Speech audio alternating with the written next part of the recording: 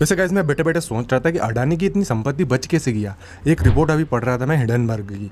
Hindenburg ने जितनी भी रिपोर्ट आज तक दी है ना, वो सभी कंपनीज़ बर्बाद हो गई हैं। तो मैं सोच रहा था कि अडानी की इतनी संपत्ति बच कैसे गई? वैसे इसके पीछे का कारण हिंडनबर्ग नहीं है।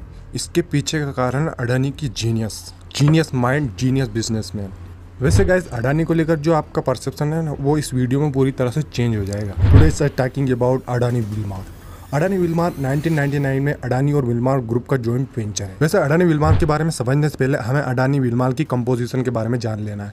83 परसेंट एडिबल ऑयल से आता है 12 परसेंट एफ़ सेक्टर से और बचे हुआ पाँच परसेंट इंडस्ट्रियल इसेशनल से आता है। अडानी विलमार अडानी विलमार का 27 जनवरी 2022 को आईपीओ लॉन्च होता है और सिर्फ़ दो मंथ में दो सौ सत्ताईस पे लिस्ट हुआ स्टॉक प्राइस 780 टच कर गया और दो महीने में 400 परसेंट का रिटर्न आईटीसी और मेरी को जैसी कंपनीज़ अपने इन्वेस्टर को रिटर्न्स देने में बहुत दिक्कत हो जाती है। ऐसे में अडानी विलमार ने दो महीने में 400 परसेंट का रिटर्न्स दिया।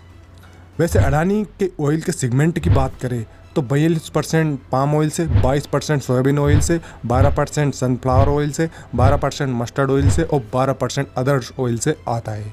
लेकिन अडानी विलमार ने कितनी जल्दी अपने रेवेन्यू और प्रॉफिट्स को डबल कर लिया है। इसके पीछे का कारण है इंडिया में पैकेज्ड फ़ूड की डिमांड ये रिपोर्ट देखिए। ये पैकेज्ड फ़ूड की demand Kurkure chips biscuits chocolate ये सब तो Nestle ITC Unilever Marico Britannia ये सब बनाता है। अडानी तो आटा, चावल, सोयाबीन ऑयल ये चीज़ पे काम करती है।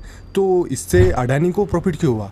इसके पीछे का कारण है कॉम्प्लीमेंट्री रॉ मटेरियल ये कुरकुरे चिप्स बिस्किट्स चॉकलेट इन सब में कॉम्प्लीमेंट्री रॉ मटेरियल लगता है, जो कि पूरा कंट्रोल अडानी के पास है। वो है पाम ऑयल पाम ऑयल पूरे वर्ल्ड में 60 परसेंट करता है इंडोनेशिया थर्टी परसेंट करता है मलेशिया। ये दो कंट्रीज़ पूरे वर्ल्ड की नाइन्टी परसेंट पाम ऑयल की सप्लाई को कंट्रोल करती है।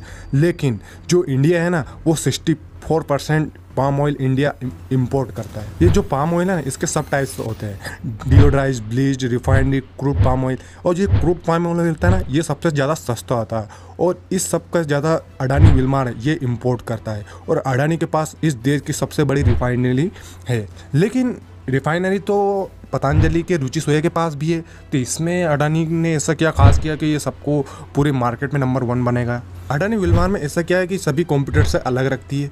अडानी विलमार का विलमार ग्रुप से जॉइंट वेंचर विलमार इंटरनेशनल जो कि सिंगापुर बेस्ड कंपनी है, ये पूरे वर्ल्ड का है ना थर्टी परसेंट एडिबल ऑयल की सप्लाई को कंट्रोल करती है विलमार इंटरनेशनल और ये जॉइंट वेंचर है अडानी ग्रुप का। तो और दूसरा है अडानी का logistic port infrastructure Adani Wilmar पूरे वर्ल्ड का 56 परसेंट एडिबल ऑयल मार्केट को कंट्रोल करती है। इसके पीछे की जीनियस स्ट्रेटेजी ये है कि जो मलेशिया और इंडोनेशिया से जो पाम ऑयल इंपोर्ट होता है ना, वो पोर्ट पे आता है। पोर्ट से रिफाइनरी तक पहुँचने के लिए पेलेट ऑयल टैंकर का यूज़ होता है, जो कि 10 दिन लगते थे उस पूरे ऑयल को सप्लाई करने में रिफाइनरी तक। लेकिन अब जो इस रिपोर्ट को देखिए, अडानी ने 10 किलोमीटर की पाइपलाइन का इंफ्रास्ट्रक्चर तैयार कर लिया है, जो कि जो पोर्ट पर जो पूरा ऑयल आएगा ना, वो सिर्फ़ तीन दिनों में वो रिफाइनरी तक पहुँच जाएगा।